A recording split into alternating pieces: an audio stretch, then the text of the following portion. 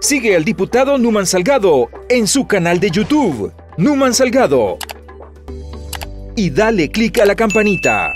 Lo que hemos visto en los últimos días, y no me van a dejar mentir, es que están exponiendo armas de guerra como tanques blindados, eh, ametralladoras de gran calibre.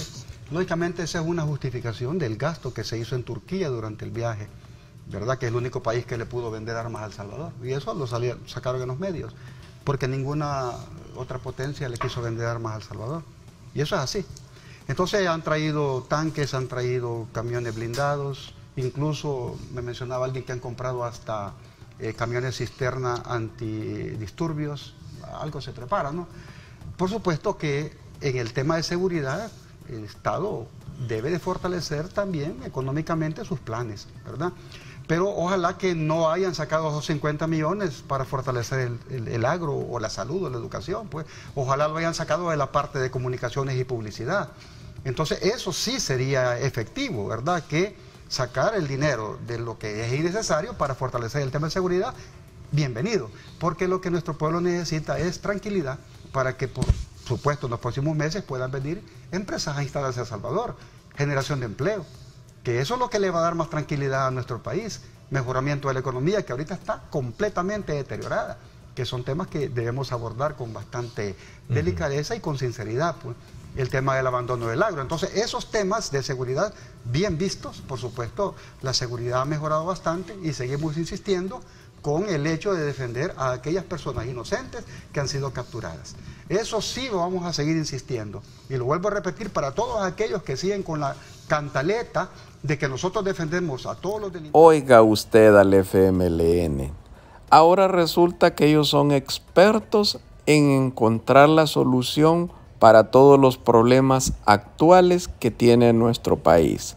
Pero cuando ellos fueron gobierno 10 años, nunca supieron cómo resolver el problema de todos los salvadoreños no supieron cómo controlar la delincuencia, es decir, cómo erradicar los grupos de pandilla. Al contrario, ellos se pusieron a negociar con ellos, se pusieron a prestarle los polígonos de tiro, se pusieron a, por así decir, a llegar a un acuerdo tan, pero tan eh, nefasto de acordar a cuántos salvadoreños podían morir en un día solo para mantener sus intereses políticos, solo para verse beneficiado con el voto de los delincuentes.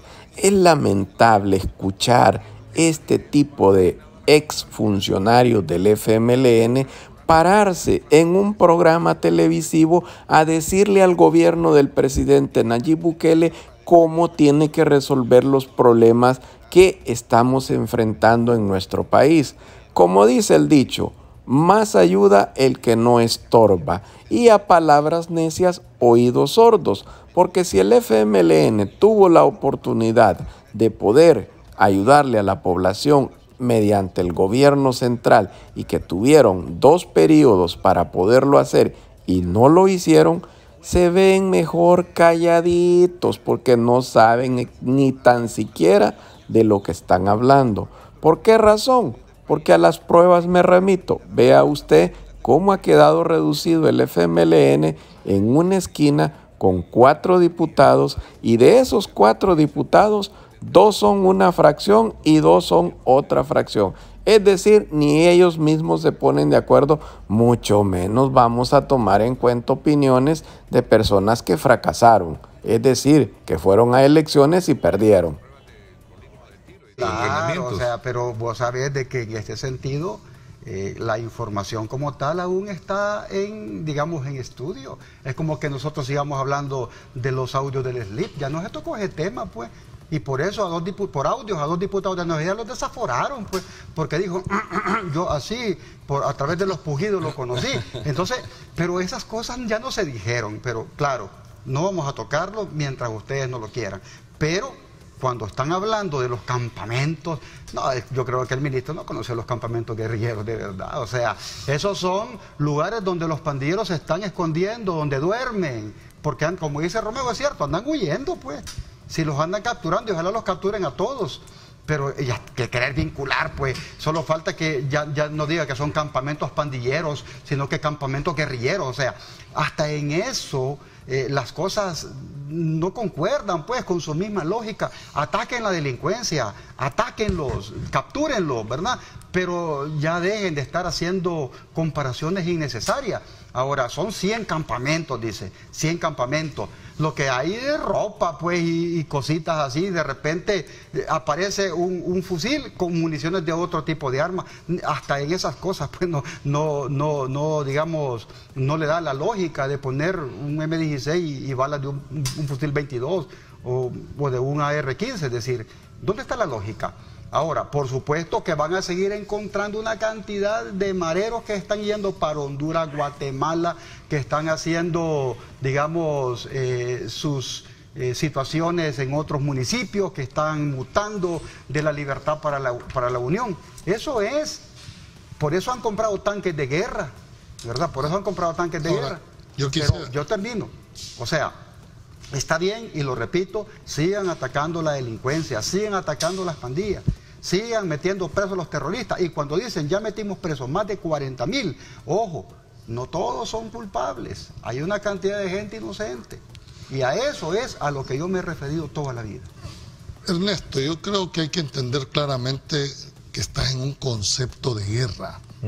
Es decir, si no se entiende el contexto, muy difícilmente vas a entender el desarrollo porque esta es una guerra social y así hay que verla como muchos las han definido. Es decir, no es que están jugando con una ondilla o con un corvo, es decir, aquí hay dos fuerzas que están enfrentadas.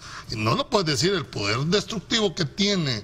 Eh, los pandilleros no tienen armas solo de 22, tienen armas de calibre 762, tienen AK-47, tienen Hay que ver de dónde siguen llegando, de dónde siguen llegando. Bueno, los fusiles tienen un número de ah, serie, con el cual puedes definir perfectamente la procedencia de ah, dónde, de dónde es el, ese, e, ese, ese armamento. Entonces, yo creo que eh, la guerra que se está enfrentando en este momento con una, va a ser lógica. Los pandilleros estaban en la ciudad, en las colonias si los empezaste a atacar aquí, la lógica te indica que se corren, se van a mover hacia el campus. Y eso es una reacción natural. Unos se van a ir a otros departamentos, otros se van a ir hacia el campo y otros se van fuera. Esperen, estos se van a tener que reacondicionar.